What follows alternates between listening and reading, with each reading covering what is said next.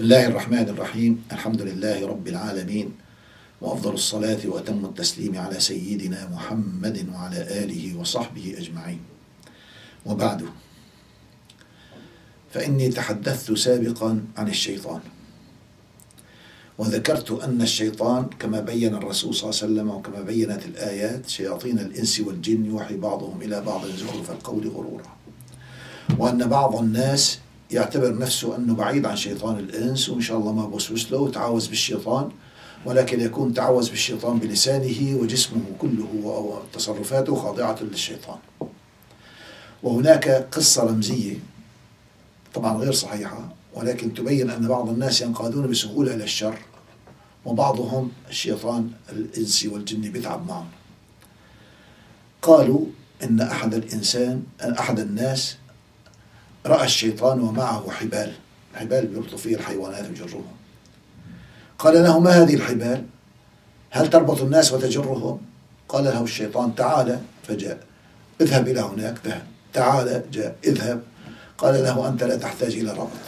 ماشي على الخط لحالك. مجرد ما يعني مثل ما قال الله في القرآن الكريم عن الشيطان ولم يكن لي سلطان إلا أن دعوتكم فاستجبتم لي. فلا تلوموني ولوموا أنفسكم. فالشيطان يا إخواني يبينه الله لنا في هذه الآية يبين لنا تصرفاته ووسوسته حتى ننتبه إلى ذلك ولا نقع في مأزق الشيطان. يقول الله تبارك وتعالى أعوذ بالله من الشيطان الرجيم. الشيطان يعدكم الفقر ويأمركم بالفحشاء والله يعدكم مغفرة منه ورزق وفضلا والله واسع عليم. يؤتي الحكمة من يشاء ومن يؤتى الحكمة فقد أوتي خيرا كثيرا وما يذكر إلا أولو الألباب.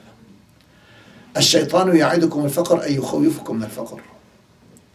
أساس الدين أن تتحرر من العبودية لغير الله. ومن هذا التحرر أن تتحرر من الحب الزائد عن الحد للمال. ولذلك فرض الله على الإنسان الزكاة. إذا بلغ ماله حدا معينا وشجع على الصدقات أكثر من الزكاة إن كان مستطيعا. فوجود وجود الصدقة تحرر من شح النفس التي يحاول الشيطان أن يبعد الإنسان فيها عن الله وأن يتسلط عليه. الشيطان يعدكم الفقر أي يخوفكم الفقر ويأمركم بالفحشاء. قبل أن نتحدث عن ذلك أود أن أذكر أن الشيطان الإنسي عندما يعجز شيطان الجن أن يحرف ويبعد الإنسان عن عمل خير من الإنفاق وغيره. قد يسلط عليه أشخاص من أحبابه. لا يكون هذا الشخص كافرا ولكنه يسخره ويسلطه من أجل أن ينفذ ما يريده الشيطان الجن. وإليكم قصة توضيحية في ذلك. يذكر أن أحد العلماء كان يوجه الناس ويعلمهم ويحذرهم من خطر الشيطان ويأمرهم بالصدقة.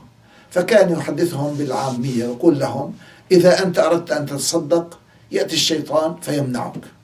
عندما لا يستطيع أن يمنعك ويرى من نفسك أنك مصمم يأتيك فيقول لك بعد تأخر أعمل كذا حتى يبعدك عن الصدقة ثم تتناساها أو تبخل. فأحد الحاضرين في درس هذا الشيخ المعلم قام وقال سأتصدق الآن حتى لا يمنعني الشيطان وأسوف. فذهب إلى بيته. لم يكن عندهم في القرى مال كثير إنما عندهم مونة القمح مونة الشعير للدواب مونة كذا. فملأ حرجه برا يعني قمحا وذهب ليتصدق. فرأته زوجته أين يا فلان؟ قال أتصدق. قال لا تتصدق أولادنا عندنا ست أولاد يحتاجون ويمكن أن لا تكفي المونة هذا العام. قد لا يأتينا مثلا موسم بالعام القادم. قال لا العام القادم فرجع الله والله يبارك. قالت له حاج بقى أولادك إذا مرضوا إذا كذا. المهم لم تدعه. يخرج حتى فرغ ثوبه من القمح. فذهب وعاد إلى درس الشيخ وجلس. انتبه المعلم أنه ذهب بشكل وعاد كئيبا. فبعد الدرس قال له يا فلان أين قمت؟ قال والله قمت لأتصدق. قال الحمد لله إن شاء الله الشيطان ما استطاع. قال قمت أصدق حتى لا يسوف علي الشيطان. فالشيطان ما استطاع علي ولكن أم الشياطين يعني يقصد أم أولاده منعتني. فتبسم الشيخ. فهذه القصة أيها الإخوة تبين لنا أن الشيطان قد يستخدم أشخاص من الصالحين بدل أن يشجعوه على الخير يعني يخوفونه. فيكونون يتكلمون بلسان الشيطان دون أن يشعروا. الشيطان يعدكم الفقر أي يخوفكم من الإنفاق لئلا تفقروا.